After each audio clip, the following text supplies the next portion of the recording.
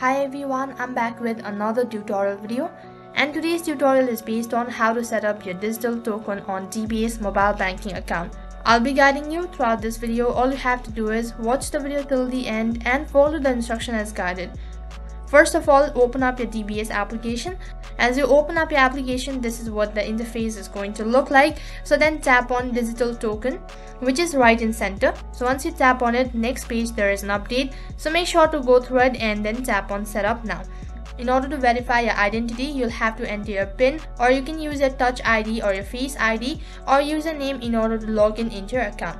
So once you're done login, so on the other page, what you have to do is make sure to go through it all and then tap on setup now which is right at the bottom.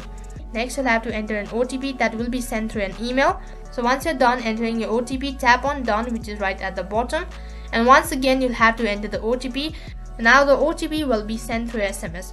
And once you're done entering your OTP, next page you'll be notified that you've successfully set up your digital token on DBS mobile banking account. So that is how you can set up your digital token on DBS mobile banking account. I hope the video was helpful. Make sure to like, share and subscribe to our channel. Thank you for watching.